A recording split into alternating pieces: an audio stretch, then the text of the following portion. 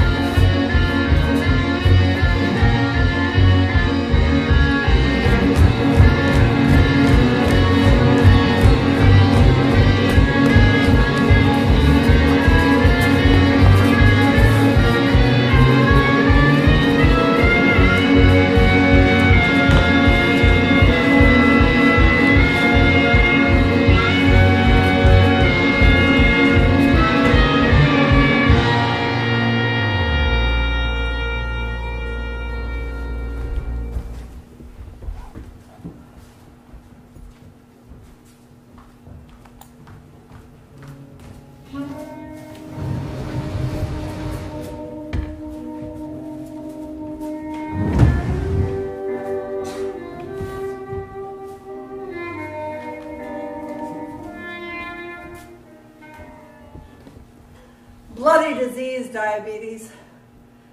I prick my fingers sometimes ten times a day. A tiny drop of blood blossoms and wicks its way into my meter. Every three months I go to have my blood drawn. Like a soothsayer reading entrails, they foretell my future with blood. Sticking myself isn't nearly as bad as waiting for someone else to stick me.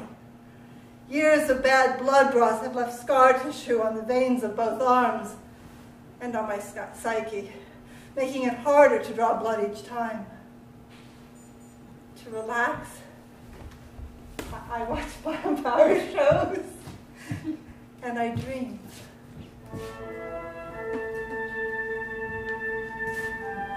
You're here to have your blood drawn. um, yes. Where's the other guy? You would prefer him? Actually, no. He couldn't seem to find a vein. He kept going back and forth from my right arm to my left, stabbing, poking, jabbing, digging. Finally, after several tries, he managed to get something out of a vial. By the time I got out of there, I looked like I'd been mugged. Then the lab says I have high levels of potassium in my blood. It could be kidney failure or just a false positive. So I'm back. Don't worry. I'm the best. That's what he said. I've done this for many years. Yeah, well, so have I, and now I've got lousy veins. You have beautiful veins, so delicate and lovely so sweet. You are diabetic? Yeah, yes, how, how could you tell? Fear raises the blood sugar and causes the veins to become timid. Relax. You have nothing to fear. I will find the blood. I always do. People used to think I was diabetic. We have the same dark, haunted eyes, the same pale skin, the same lovely smile. Are you sure you're not diabetic? A different metabolic syndrome, but similar. If we don't get what we need by artificial means, which others consider evil and disgusting, we turn into barely animated corpses who may slowly crumble into the grave. They think of us as the damned, but we both may seem to rise from the dead. Yes, there, all done. Wow, you managed to get a lot of blood. You know, I thought of something else we have in common. Most don't think that we exist. I'm not type 1, but I'm not type 2. Most can't figure me out. But here at the clinic, things are good, no? Not, not, not always. I, I mean, my doctor and my, my CDE, they, they seem to know their stuff and, and they're willing to learn, but, but others? I don't fit in the right box. I'm a freak, a monster. We are not the monsters. People who want to hurt you because they think that's their job. People who think that you deserve to suffer. Those are the monsters, not us. No one should hurt you. And if they do, scream and run. See you in three months.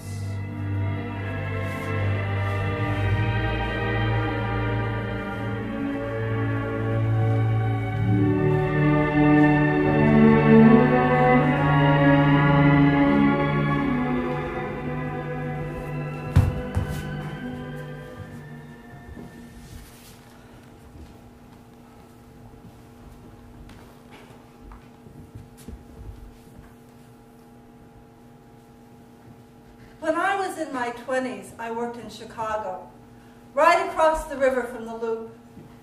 Four times a day, I would pass the bank on the corner.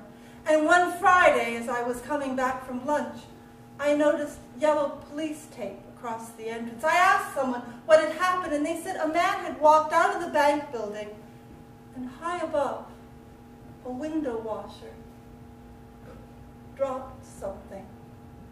It hit the man, and he died, like that.